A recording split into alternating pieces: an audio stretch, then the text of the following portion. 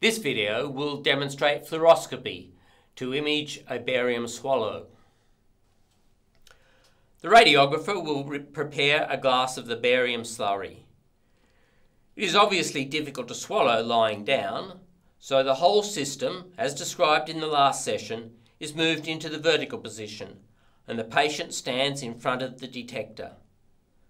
But in this system, the detector is much longer and the X-ray tube moves during the imaging process. The patient is asked to take a mouthful of the slurry and as they swallow, the X-ray tube moves from the mouth down to the stomach. All the time, the detector screen is acquiring images, which are transferred to the computer.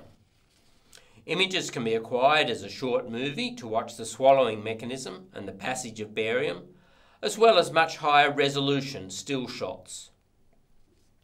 The patient is then asked to face sideways for a lateral review, and the process is repeated.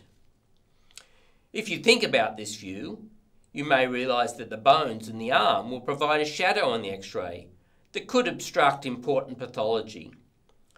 So a third view with the patient standing at an angle will ensure that the radiologist is able to see all parts of the esophagus. As this is a digital system, the radiographer can check the images immediately.